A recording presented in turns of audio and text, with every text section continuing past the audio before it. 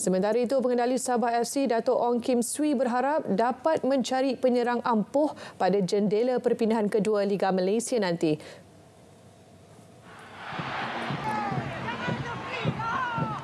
Saya berharap uh, pada uh, musim perpindahan kita mampu melakukan sesuatu di mana kita inginkan uh, penyerang yang boleh membantu untuk memastikan kita berada dalam tahap yang cukup baik dan pada masa yang sama kita kena faham di, di sini di di mana kita ada banyak lagi perlawanan yang kita harus lalui. Uh, that's football lah. Okay. Kita datang sana, kita tak convert peluang yang ada dan kita dihukum kemudiannya dengan kesilapan kita sendiri. Okay. Selepas ini, Sabah akan berkunjung ke Stadium Bola Sepak Kuala Lumpur bagi pertemuan dengan KLCT pada 31 Julai. Manakala Negeri Sembilan akan ke Kuala Terengganu bagi aksi bertemu Terengganu FC.